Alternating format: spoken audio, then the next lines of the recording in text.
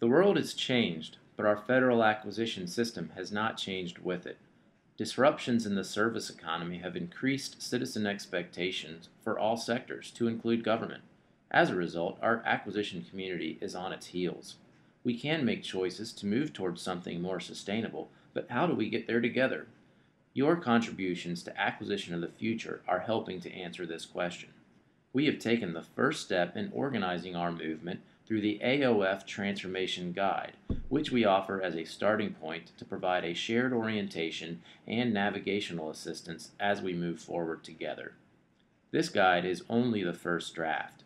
It is based on our summit experiences to date, most specifically the Executive Vision Summit in February. During that summit, we allowed ourselves to dream.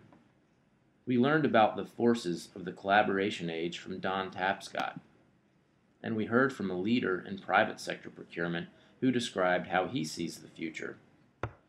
We discussed key principles important to our federal acquisition community.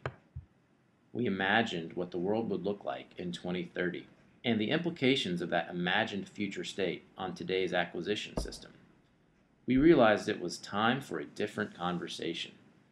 And through that conversation with you, we saw an opportunity to add value, strengthen our community, and honor our mission. As we embark on this journey together, our hope is that we can navigate using the same North Star and not necessarily the same route. And that is why we have developed this transformation map to provide a common guide for orientation and measuring our progress. The transformation map consists of five dimensions buyers, marketplace, acquisition system, culture, and externals. Each dimension includes attributes that help us understand the nature of that dimension. And within those dimensions, we include phases of maturity to increase our shared understanding of how we can progress to our imagined future state. It is truly time for a different conversation, and this is only the first step in a long journey. Your feedback on our draft transformation guide will help us take the second step.